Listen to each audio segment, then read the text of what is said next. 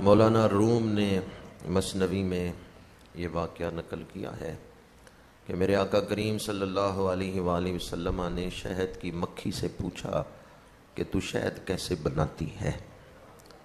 ये बात याद रहे कि नबी दीगर मखलूक से कलाम कर सकते हैं। और हमारे आका करीम आप तो रहमतुल्लिल आलमीन हैं।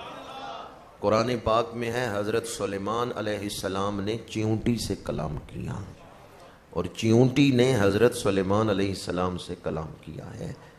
चिऊंटी दूसरी चिऊंटियों से कहती है, बिलों में घुस जाओ, ला याते मन्ना कुम सुलेमानो व जुनूद चिऊंटी हज़रत सलेमान का नाम जानती हैं और हज़रत सलेमान अलैहिस्सलाम उसकी बात सुन के मुस्कुराए हैं।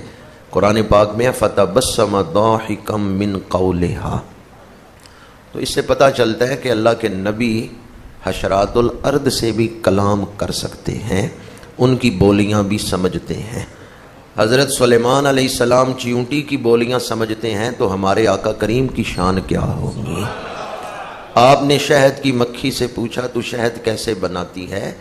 सवाल अदम इल्म की दलील नहीं, सिर्फ़ इजहार मकसूद था।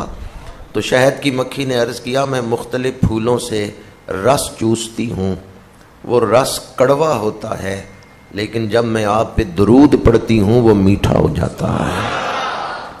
कड़वाहट को मिठास में किसने बदल दिया है? दरूद शरीफ ने कड़वाहट को मिठास में बदल दिया। तलखी को शीरीनी में बदल दिया है। उलमा फरमाते हैं, अगर तुम भी ये चाहते हो, ज़िंदगी की कड़वाहट मिठास में बदल जाए। अगर तुम भी ये चाहते हो ज़िंदगी की परेशानियाँ आसानियों में बदल जाए तो दरूद पाक को अपना वजीफा बना लो।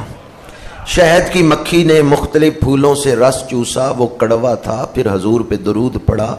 अल्लाह ने उस रस को मिठास में बदल दिया, शहद बना दिया। सिर्फ़ मिठास में नहीं, बदला, बीमारियों की शिफा भी उसके अंदर रख दी है। शहद में बीमारियों की शिफा भी है।